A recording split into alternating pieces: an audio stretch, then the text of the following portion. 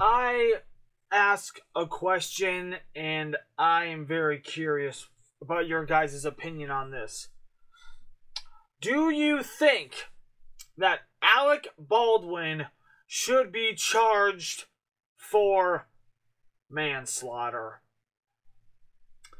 I'm genuinely curious because I don't think he should ish. I mean, it's tricky. I'm obviously not the law, and I'm obviously not the DA, but it's not really his fault per se because he's just an actor.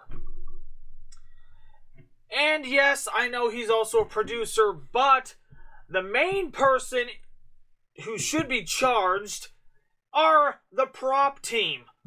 You should have double checked your guns first before handing them over to the actors.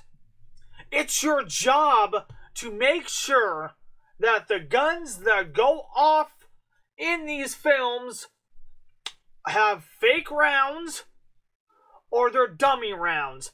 How do you manage to get a live bullet into the gun and not check that? But I'm also going to be on the opposite side of yes, Alec Baldwin should have checked the gun first. He should have walked off out in the middle of the open area that Rust was being filmed in. They were in New Mexico. There's nothing but desert area. Alec, you should have walked out into an open area, which you had plenty of, by the way, and you should have tested the gun yourself to make sure it wasn't loaded. So I can understand people's thoughts on that per se.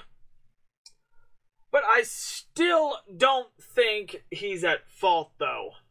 Like I said, it's a very tricky situation. I just felt like I wanted to kind of discuss this a little bit just to see what your guys' thoughts and opinions are. So, you let me know in the comment section below. Do you think Alec Baldwin should be charged? Do you think Alec Baldwin should be at fault? Let me know, guys. I'm very curious. So, you start typing and let me know.